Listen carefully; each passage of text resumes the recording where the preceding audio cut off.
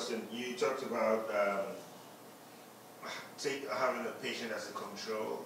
Like if, if I have if I if I have a cancer cell, I'm also going to be my control. So my question is if, if there are some there are some cancers that are very uh, malignant, but they are hard to you know detect. So how are you sure that you're not taking another cancer cell, or is it already has a mutation as control? Uh, it's a great question. and you basically are going to look at those. So if, excuse me, if you have a solid tumor, lung or melanoma or breast, blood is usually a pretty good control. The pathologist actually look at the blood quickly and make sure that he's not seeing a tumor there. There's typically not a lot of circulating tumor cells. There is some circulating tumor DNA, but it's a very small amount. So blood is a good control for most solid tissues. You can't use blood as a control for leukemia.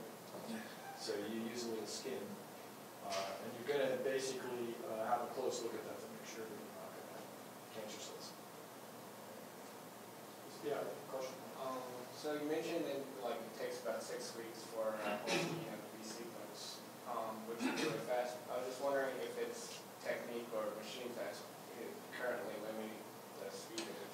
Well, um, it's really changed. So the process right now, you, you spend a few days getting the sample in hand, turning it into DNA, and putting it in um, a form that you can put on your sequencing machine. The sequencing actually takes about a week. Excuse me. And then the analysis is what takes the bulk of the time. The analysis, the interpretation, and getting it right. That's the bottleneck. And that's very much a manual process now. So, like, we, we hire all these whiz-kid computer hackers to write these really great software tools, and you try to get the computer, see, this is why we need that Watson computer. Because uh, if he can come up with Jeopardy answers in, you know, milliseconds, you should be able to figure out the, permutations um, but you, you know, you can have a very powerful computer, but you have to write the right software for it. So that's that's where a lot of evolution is going on. That's the next Yes, ma'am. Um, I have two questions. One, we were talking earlier about, um, I guess, finding how fast this is going to move into the clinic. Yeah. Uh, a related question to that is, uh, I had heard on the news a while ago about the BRCA um, and kind of patent issues, and I was wondering what your thoughts were about that in future gene sequencing. And my second question was, um, have, I guess I would, I would guess that um, research that has been like people that have expressed interest in research through sequencing, um, is there kind of like a bias towards looking at diseases that have treatment for early diagnosis? Great question. Is that kind of random? Great question. So question one, patents. Um, I'm, I'm very opposed to trying to patent a gene, means that I want to try to write a broad patent over some gene, and I can try to control everything. That's not, uh, that's not right. Although there are plenty of companies that try. Um, BRCA 1 and 2 is an interesting situation. Basically had some scientists, mostly at Hopkins, who discovered that this gene was important in breast cancer. Um, they wrote a patent. Myriad licensed it, built on that patent, right? And now they charge three grand to test you. Um, and if you try to simply sequence BRCA1 or BRCA2 in your clinical lab and report results back to the physician, Myriad will come try to see. Um, like uh, any good, um, you know, sort of patent situation, there are plenty of, with, with lots of, the there are plenty of patent lawyers that are trying to figure out ways to get around that. There may be ways to get around that.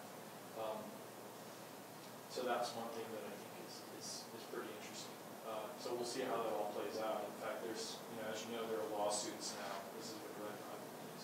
Uh, of patients who are suing Myriad case. What if I don't have three thousand dollars? That's a lot of money for a test.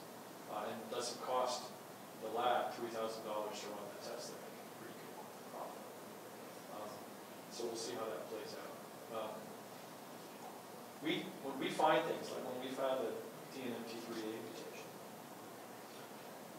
reported it to Washington University's office of Technology Management, and they filed a provisional patent on that. And you have to do that. Um, These are the reasons. So first of all, the nice thing about being a, you know, an academic and doing that through your university is you then have control. And the idea is, is that if, if company A comes and says, we want to um, license that patent, that finding, um, we'll pay you Millions of dollars for it, right? Uh, But we want exclusive rights to it, you can't let any other company. So what we, what we do is we say, no, we refuse to license it exclusively. We want company B, company C, and company D to also have a shot at it. We want you guys to go out and compete to see who can develop the best test and who can have uh, the lowest cost, right? The other thing that company A could do, if they got it exclusively, they could put it away, right? Let's say they had a drug on the market, and if you could quickly uh, test for a particular mutation, which might say, company A's drug isn't going to be any good, you should use company B's drug, because that's really the right thing to treat a patient with a mutation in that gene, right? That would be bad for company A. So they simply lock up that gene so nobody else can test for it.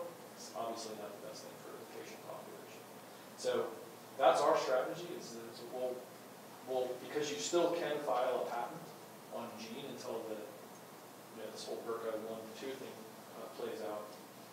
That's the way we've sort of chosen to go about it, so that we can then make it available within a competitive situation.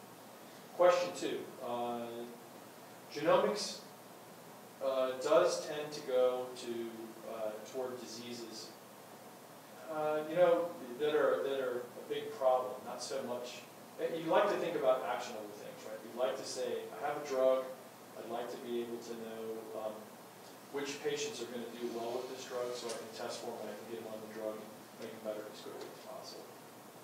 Uh, So there is some of that, but there's also just, uh, this is, here's a particular disease, we don't understand what causes it, it must be genetic roots. Can we simply get DNA from a bunch of people with that disease? Can we get um, family members? Cancer is actually easy because you have a built-in control. For every patient, you've got tumor normal, so you're only looking for the differences. But if you only sequence tumor from 50 people, you'd find hundreds of differences between each patient's tumor genome, some that were relevant to the cancer and many others that weren't relevant just because they came, you know, from different ethnic backgrounds or, you know, so forth. So, um, cancer's been sort of the first place that this has really had a big impact because of the built-in. Uh, But what we're now starting to do, because the costs have gone down, we're taking it to a lot of. Diabetes is a big target, heart disease is a big target, so. One last question. I'll let you decide who gets to ask it, Um, so I'm not accused of playing favorites. maybe, maybe no. Um, That has asked a question, sorry. Um, so I work with Dr. Elgin doing some sequencing on Drosophila. And so some things that we look at is when we see insertions, kind of like you saw in the atypical situation, is we look at what potentially mobilizes that part of the sequence to be able to jump into a different part of the chromosome. I'm wondering if part of the work you're doing looks into that atypical situation in terms of if there's anything flanking that region that allows it to move into a different region of the genome So well. I think, uh, I think we can safely say that there's some sort of hotspot there, right? Um, It's not obvious. And one of the things that we've learned is we've sequenced, uh, you know, what people knew 15, 17 break much for years, they kind of knew what two genes were involved in. Only through our sequencing of maybe 12 different patients with those translocations, we found that they're not all the same. There's not, you know, 50 bases here and 50 bases here that represent, you know, an easy to sort of put your finger on mechanism for why that hotspot seems to exist. So we're still trying to understand that it's variable from patient to patient. And with that sort of thing in mind, maybe it's not surprising that you also now have these sort of insertional fusions as well. So that's, that's a question we're still trying to answer. But it, it- the, you know, what you're saying in Drosophila is probably a pretty good model. Yeah. It's These kinds of functions. One more question. The learning. I've actually got a lot of Uh, You know, if you want to funnel some questions via email, uh, it probably won't get answered until after March third when the grant goes in. Thanks. Yes.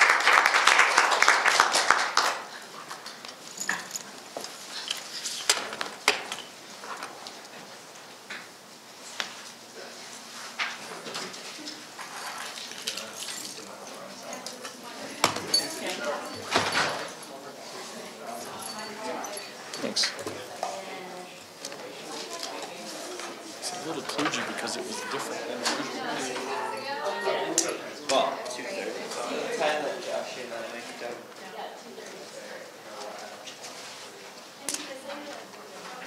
You're welcome, thank you.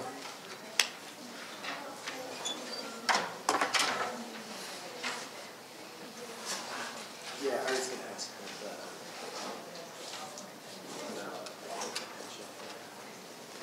Hi, I'm Steve. There's a way to come. Oh, nice to meet you too, thanks a lot. So I'm gonna send you some Okay, emails. Hope you do. that's fine. Okay. Yeah, excuse me if I'm a little slow in responding, there's a bunch, bunch going on right now. Oh, my pleasure. Is that, was that okay? Excellent. Cool. I was glad to please the crowd. How are